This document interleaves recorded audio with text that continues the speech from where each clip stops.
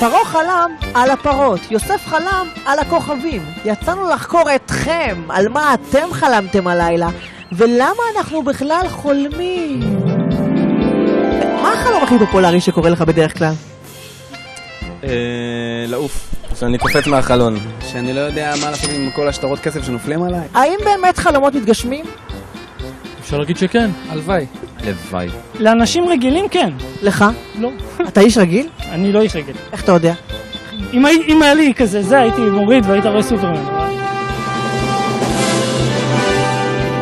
האם חלומות של אתמול הן שלהבות? להביא אור. שלהבות הן, בוודאי, אין שום ספק, וסגור על זה, כולל רקפת בהרים, זאת אומרת, הן נרעדות? אה, נראות את המילה בה אני לא זוכר של השיר. החושך יכבות? לא יודע מה זה, אבל כן, גם. בחושך? קופצות. קופצות גבוה? קופצות נמוך. באיזה גובה? שתי מטר. על? שלוש. ובסוף? עף לגובה. לאיזה גובה? שלוש מטר. על? אבל טמטם אותי. חלומות שאתמול הם בירה. אם החלום לא משפיע עליך, ודאי תשכח אותו.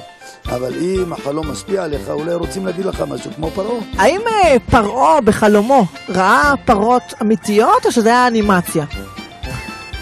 מצויר, מצויר. יכול להיות חלום אמיתי, למה לא? על מה הוא חלם?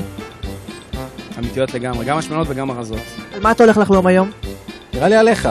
אה, איך אפשר ככה לשכוח אותך?